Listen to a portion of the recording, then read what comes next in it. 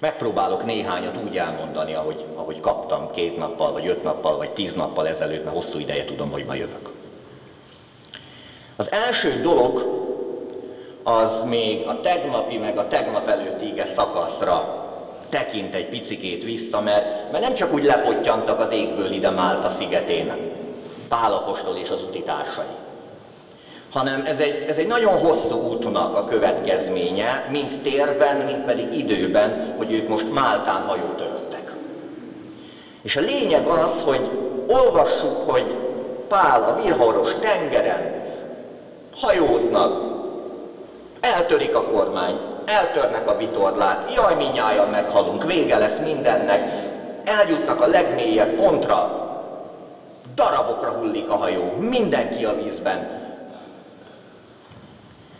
És megvan arról mindenki győződve, hogy ők már soha nem fognak eljutni Rómába. Megvan arról mindenki győződve, hogy itt a vég. És hányszor vagyunk úgy, hogy nem vesszük észre, hogy ez nem valaminek a vége, hanem valaminek a kezdete.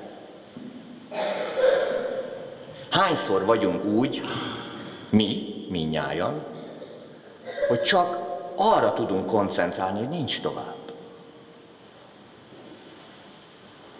A mindennapi életünkben, a munkánkban, a hitünkben, azok a gondolatok, amelyek általában meghatároznak bennünket a bajban, mind-mind erről szólnak. Hányszor jutott már eszedbe, vagy mondtad, hogy hogy jutottam idáig? Igaz? Miért ezt érdemlem? Miért velem történik? Vagy ránézel a mindennapokban a életed fontos személyeire. Most direkt nem mondtam gyereket. És akkor mi lett ebből a gyerekből, vagy mi lett ebből a testvérből, vagy mi lett ebből a hitvesből? Belenézel a tükörbe, és mi lett belőle? Nincs tovább. Lent vagyok az alján.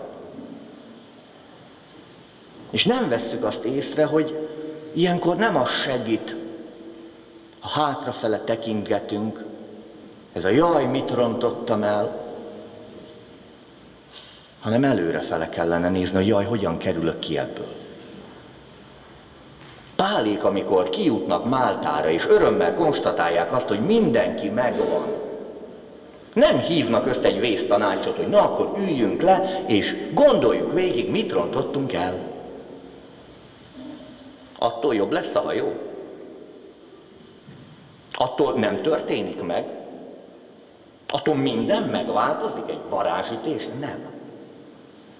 Hanem előre tekintenek, és azt gondolják végig, hogy hogyan tovább ebbe a helyzetbe. Mi ennek a szigetnek a neve? Hol vagyunk? Határoljuk be magunkat? Mit csináljunk? Mi az, amit ebből ki lehet hozni? Előre néznek. És megkeresik újra Krisztust, megkeresik újra az útmutatást, és nem a múlt fájdalmai rágódnak, hanem a jövő lehetőségeit próbálják Isten áldásának megfelelően a lehető legjobban kiaknázni, kihozni a legjobbat ebből a helyzetből. Amikor bajba vagyunk, vagy jövünk egy bajból, mondjuk ma, fájdalomból, gyászból, nélkülözésből, lelki, anyagi problémákból ne hátra tekintsünk. Ne azt az utat keressük, hogy mi jöttünk be ide, hanem azt keressük meg, hogy mi megyünk ki. És erre mindig lesz útmutatás. Mert mindig ott lesz Krisztus, aki azt mondja, hogy erre gyere, jöjjetek én hozzám minnyájan, akik megfáradtatok, akik megvagytok terre. Nem én találtam ki, ő mondja. És utat mutatok, hogy kikerülj onnan, ahol nem jó szívedből, nem ön akaratodból vagy, és nem szeretsz ott lenni. Akár fizikai, akár lelki, akár anyagi hely legyen ez. A második történet, a második üzenet már erről a kiútról szól a felolvasott ige szakaszban. Mert ahogy Pálék számára ott volt az a Málta nevű sziget, a mi számunkra is mindig van egy sziget. Amikor összecsapnak a fejünk fölött a hullámok, és az ember körülnél, mindig van egy Lehet, hogy nem Máltának hívják. Lehet, hogy reménynek hívják, lehet, hogy szeretetnek hívják, lehet, hogy kegyelemnek hívják, de az utó neve mindig Krisztus. Krisztus kegyelme, Krisztus szeretete, a Krisztusban kapott remény, mindig ott van. Sokszor úgy érezzük, hogy ezek csak olyan, olyan keresztény dallamok, amit olykor-olykor el kell csattintani egy szószékről, vagy egy bizonyságtételnél, hogy Krisztus kegyelme, meg Krisztus szeret, de amikor az ember kipróbálja, amikor az ember tényleg bele tud kapaszkodni, akkor veszi észre, hogy jé, nézd már, működik. Mert nem én rajtam áll, hanem, hanem az Úr erején, és az Úr hatalmán működik.